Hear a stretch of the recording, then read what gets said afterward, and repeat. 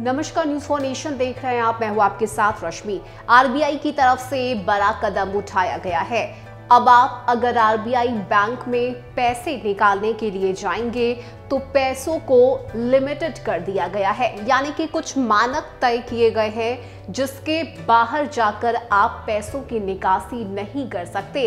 अब क्या कुछ फैसला आरबीआई की तरफ़ से लिया गया है? और इस बड़े कदम के साथ किस तरह से इस वक्त आरबीआई सामने आई है, इसकी पूरी जानकारी आपको डिटेल्स में बताते हैं। बता दें आपको कि रिज़र्व बैंक समय समय पर कड़े फैसले लेता रहता है। वहीं कई बार आरबीआई को किसी दूसरे बैंकों के खिलाफ प्रतिबंध या जुर्माना लगाते हुए भी देखा गया है। और अब आरबीआई की ओर से फिर से एक कड़ा कदम उठाते हुए चार बैंकों पर प्रतिबंध लगा दिया गया है। इसके साथ ही ग्राहकों को भी तगड़ा झटका लगा है। अब बैंक से जुड़े ग्राहक भी आरबीआई के ज़रिए तय की गई लिमिट के हिसाब से ही पैसों की निकासी कर सकते हैं। आरबीआई ने चार सहकारी बैंकों पर प्रतिबंध लगा दिया है। इसमें ग्राहकों ने अपने बैंक खाते से पैसा निकालने की सीमा लगाना शामिल है। इन बैंक की बिगड़ती आर्थिक स्थिति को देखते हुए ये कदम उठाया गया है।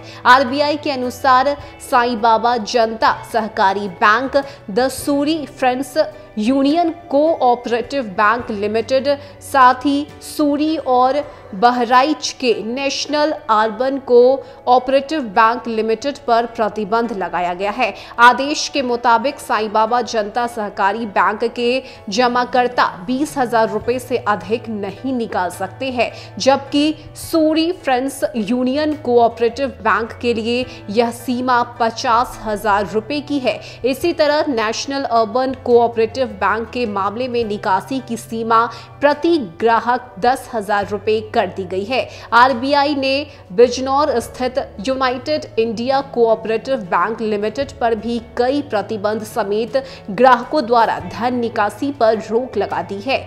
बता दें कि केंद्रीय बैंक द्वारा चार सहकारी बैंकों को यह निर्देश बैंकिंग विनियम अधिनियम उन्नीस सौ उनचास के तहत जारी किया गया है, जो छह महीने तक लागू रहेगा। रिज़र्व बैंक ने एक अन्य बयान में कहा है कि उसने सूर्योदय स्मॉल फाइनेंस बैंक पर धोखाधड़ी से संबंधित कुछ मानदंडों के उल्लंघन को लेकर भी जो पैसे हैं, उसे जुर्माना के तौर पर लगाया है, जहाँ पर संतावन दशमलव सात पाँच लाख रुपए का जुर्माना लगाया गया है। तो ये कड़े कदम जो हैं, वो आरबीआई की तरफ़ से उठाए गए हैं और इसमें कुल मिलाकर चार सहकारी बैंक जो हैं, वो शामिल है, जहाँ पर अब पैसे की निकासी को लिमिटेड कर दिया गया है। तो कड़ा कदम है आरबीआई की तरफ़ से। अगर बात करें तो समय समय पर यह फैसला आरबीआई की तरफ़ से लिया जाता है और यही वजह है कि अगर आप भी